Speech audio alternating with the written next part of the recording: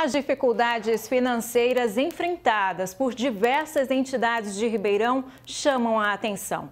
Com frequência, o Jornal da Clube mostra a realidade dessas importantes instituições.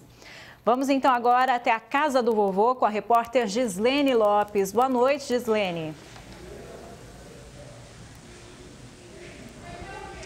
Oi, Cláudia, boa noite a todos que assistem ao Jornal da Clube. A Casa do Vovô tem 43 anos e cuida mais de mais de 80 idosos. Com isso, tem uma despesa mensal de 260 mil reais.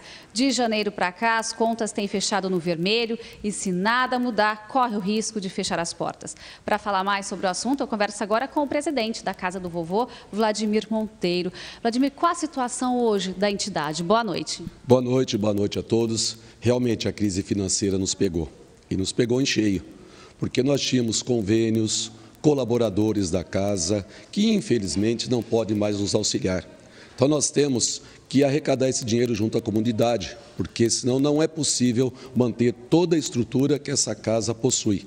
Sempre eu gosto de destacar que a nossa estrutura, acredito eu, que é única em Ribeirão que nós, para esses idosos aqui, nós temos terapia ocupacional, nutricionista, fisioterapia, psicóloga. Agora, as pessoas vão de convir que tudo isso tem um preço.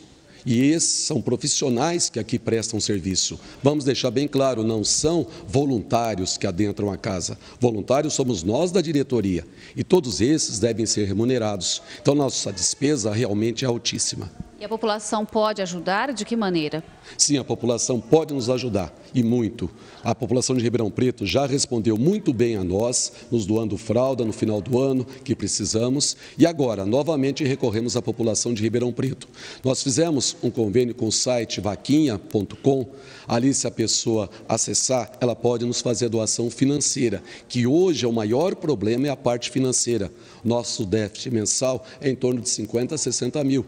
E nós não temos condições de suportar por muito tempo essa situação, visto que eu tenho um tempo aqui de quatro a cinco meses. Caso a gente não consiga sair no vermelho, provavelmente essa casa, infelizmente, será fechada. Ok, Vladimir, tomara que não, né? Então fica aqui o recado para quem puder ajudar a casa do vovô. Eu volto com você, Cláudia. Obrigada, Gislene. Hoje falando aí ao vivo da Casa do Vovô aqui em Ribeirão, que precisa da ajuda da população.